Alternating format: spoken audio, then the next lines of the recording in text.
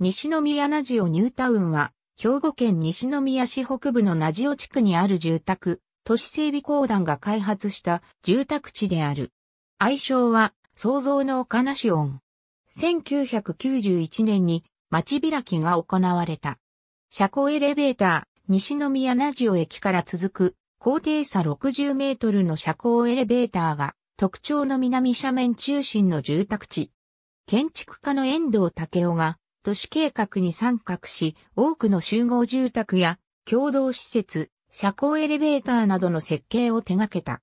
1994年、建設省都市景観100選で対象に選ばれたこともある。面積、約240ヘクタール。当初計画人口約1万2000人。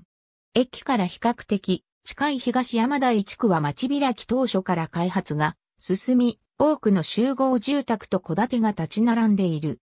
一方その北側の国見台地区は開発計画が進まず、住宅があるのは2014年頃から入居が開始された4丁目のみであり、6丁目には企業や自動車販売店などがわずかにあるのみで、その他は大規模太陽光発電所が地区の多くを占めている。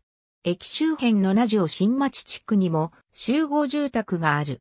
JR 福知山線西宮名オ駅が最寄り駅。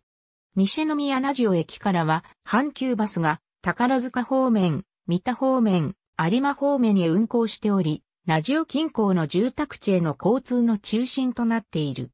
宝塚、三田両方面への幹線道路として国道176号があり、現在4車線化、バイパス建設の事業中である。東山台中学校の計画があったが、今ではその予定地が宅地化されている。ありがとうございます。